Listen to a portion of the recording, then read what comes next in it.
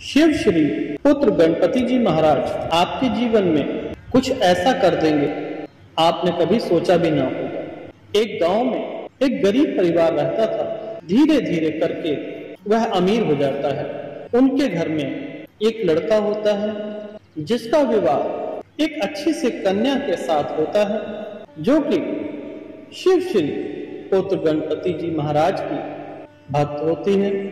विवाह हुआ आपस में कुछ खटपट हो गई, घर थोड़ा टूट गया।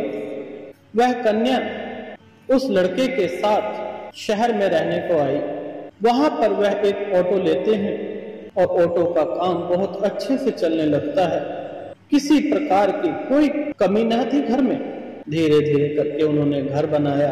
उनके घर एक बालक भी पैदा हुआ, जिसका नाम उन्होंने गौरी शंकर रखा। अच्छे से जीवन बीत रहा था। तभी उनके जीवन में जहर घोलने के लिए कुछ दोस्त आते हैं, जो कि उस लड़के को गंदी लत लगा देते हैं।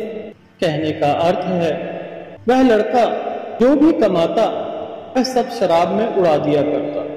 ऐसे कुछ समय चलता रहा। अब तो हालत ये हो गई थी कि वह घर में एक भी पैसा नहीं देता था। पत्नी परेशान हुई। पत्नी ने घर में जाके लोगों के बर्तन साफ़ करने शुरू कर दिए, क्योंकि बच्चे का भी पेट भरना है। ऐसे कुछ टाइम बीतता गया। तत्पश्चात उस लड़के की हालत एक दिन बहुत ज़्यादा खराब हो जाती है। वह खून की उल्टियाँ कर रहा था। दोस्त आते हैं, कहते हैं, आपके पति देव पार्क में पड़े हुए हैं, उल्टियाँ कर रहे हैं। वह स्त्री अपने पति को लेकर हॉस्पिटल जाती है। हॉस्पिटल में डॉक्टर कहते हैं, बहुत पैसे लगेंगे इलाज में। लेकिन उसके पास पैसे थे नहीं। वह सरकारी अस्पताल में ले जाती है और वहाँ पर भर्ती कराती है। डॉक्टर इलाज कर रहे होते हैं। शिव श्री पुत्र गणपति जी महाराज का टाइम आ गया कहने का अर्थ है, गणेश चतुर्थी पड़ी थी। वह रास्ते से गुजर रही थी। तो उसके मन में आया कि गजानंद गणपति जी सबको सब कुछ देते हैं तो मेरे जीवन में इतना दुख क्यों? तो वो वहाँ पर विराजमान पंडित जी से पूछती है कि मेरे पास अब एक भी पैसा नहीं बचा है, पति बीमार है, बच्चे के स्कूल की फ़ीस, मकान का किराया, कोई निधान कीजिए, पुजारी कहते हैं, माता, आप संयम रखें, एक छोटा सा उपाय करें। गणेश जी के लिए, जिसमें आप सक्षम हैं, उतना प्रसाद लेके आइए। और एक दुर्वा की माला, यह लाकर गणेश जी को अर्पित कर दीजिए। अगले दिन वह स्त्री प्रातः काल दुर्वा की माला और घर से हलवा बनाकर उसका मोदक बनाया। गणेश जी को चढ़ाया।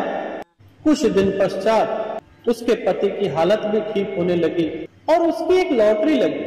लॉटरी वो नहीं, शेयर बाज़ार जब उसके पति देव कमाते थे तो उन्होंने कुछ इन्वेस्टमेंट शेयर में कर रखी थी। परंतु उस शेयर का भाव बहुत नीचे आ जाता है रेट टूट जाता है। जिसकी खबर उनकी पत्नी को भी न थी।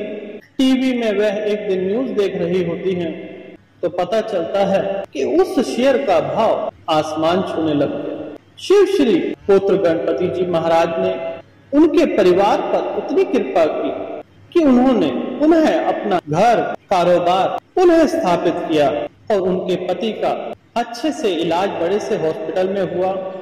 वह स्वस्थ हो गए। तो यह है लीला शिव श्री पुत्र गणपति जी महाराज की। अगर आपके जीवन में भी कोई समस्या है तो उसका निधान आने वाली गणेश चतुर्थी पर आपको सभी समस्याओं का समाधान मिले।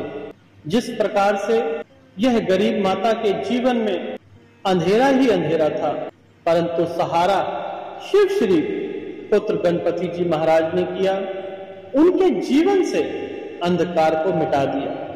इसी प्रकार से आने वाली गणेश चतुर्थी पर आपके जीवन में भी प्रकाश ही प्रकाश होगा।